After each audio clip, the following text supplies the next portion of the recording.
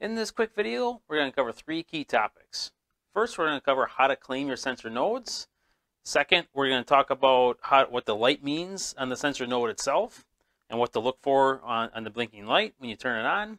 And third, we're going to cover how to make any sensor node a repeater. First, let's talk about how to claim your sensor nodes. So a sensor node belongs to a sensor hub. In order to make to claim the sensor node, you need to assign it to the hub. We do this all through the web app. For this to work properly, the first thing we'll want to do is make sure our, our hub is connected. This is that breathing green color on the uh, on the on-off push button. That means it's connected to the internet and able to communicate to the SAP system. To do this, if you need, you can go to settings and under mode, just change it to always on. Click save. And if you turn the sensor hub on and back off, or off and back on, I mean, it should then connect and be in that mode. Now, to claim their nodes, what we want to do is claim sensor nodes button there. What we'll do is just like the hub, each node has a QR code on it. So what we'll do is scan that QR code. If you have just one, I could click Save Now, but since I have uh, multiple here, I, I, can just keep on scanning the additional ones. As you'll notice, as I scan, each get added to that list. Now that I'm done scanning, I can click Save. And as, I, as soon as I click Save, it sends a configuration down to the hub. Now the hub knows to expect to uh, listen to these to these nodes. At this point, now we can um, turn on the node and the, the hub will respond. So we can click the on button. The light will blink once and they'll blink uh, two additional times. That first blink is it making a join request to the hub saying you, and then receiving its configuration.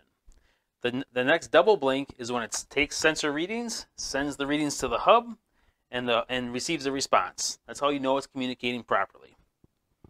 When you turn on nodes, you typically want to just turn on one at a time so they're not trying to talk on top of each other. I'll do that one more time for this third hub. Now I know all three of these are, are configured correctly to talk to this hub. When we do that too, you'll also notice the light on the hub. So right there, that light on the hub will also blink every time it, it's processing a message from a node. So there's two scenarios that may happen with uh, different sequences of the light. The first is if it's in, in range of the hub, but you didn't properly claim it to the to the hub. The hub hears the message but doesn't respond to it um, because it's just it's not associated with this specific specific hub. In that scenario, what's going to happen is on that join message, it's going to blink once, but now it's not going to receive a response, and it's going to blink that those four times, saying, "Hey, I you know I never received a join request or an acknowledgement." So that's that first scenario and it'll keep trying to make more join requests um, every minute or so until it hears a good a good message back. To correct this issue, all we need to do is just like the, the same steps we walked through previously, is properly claim that to the to the hub, and it should then connect properly. Let me do that quick here. So I'm going to claim the sensor node. I'm going to scan the QR code. I'm going to click Save. As soon as I see the save devices have been uh, device settings saved properly, I can then turn that on.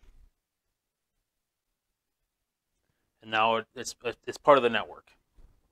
So that's that first um, scenario where you may have a slightly different blink sequence. The second is let's say this is out of range of that hub, and we didn't configure anything to be a repeater yet. In that scenario, it's hard to simulate here. Um, it's a little cold here in Wisconsin to do this test outside. So just to show you what this looks like, I'm going to turn the sensor hub off. And in this case, once I turn this on, what's going to happen is when it sends that join request, there's no device anywhere around, so it's going to stay that solid green, and then it's going to blink, blink four times. So I'll show you that one more time. Push it on. If you see a solid green that doesn't go away, it's likely outside of range. All right, when you're setting sensor nodes up, the best thing to do, especially if you know you need a repeater, is to take one, two, um, at least maybe two nodes and configure them to be a repeater right away. Um, and to do that, you simply pull the cover off. So there's four screws here. So let me pull the cover off. There's a standard Phillips screwdriver to do that. You can either do it by hand like I am here, or even use an electric drill if you need it. So as soon as we pull the cover off, be careful. There's, there's there is this um, these two wires here that go to the solar panel on the cover. Now what you're looking for is these switches in the bottom right. Switch number one, what we'll want to do is flip switch number one to the on position. When it's in the on position or up um, towards the battery is the on position. It then will act as a repeater. In order for it to be a repeater though, we gotta make sure we turn it off, turn it on, and as soon as it turns on, part of that configuration is what, what's the status of the switch, and now it knows it's a repeater. We'll do that one more time, turn it off, turn it on, and just like we reviewed earlier, it'll make the join request. And from this point forward, with that switch, um, the, the first switch being in the on position, it will now act as a repeater for other nodes. What this means, it essentially wakes up early um, during the reporting window. It'll wake up early listening for messages it needs to repeat. And so this node can talk to this node that can then talk to the hub.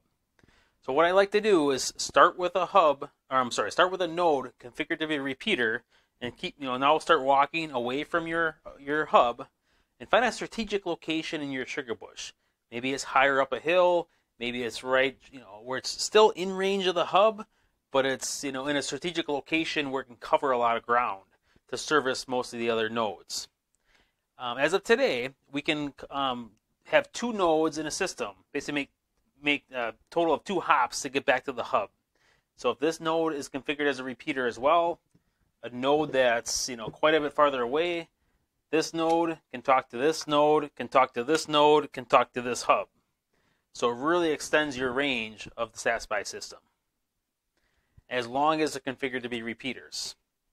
As of today, we recommend up to two repeaters in any SapSpy system. The status of uh, being a repeater or not is also available in the web app, so you know what devices are repeaters.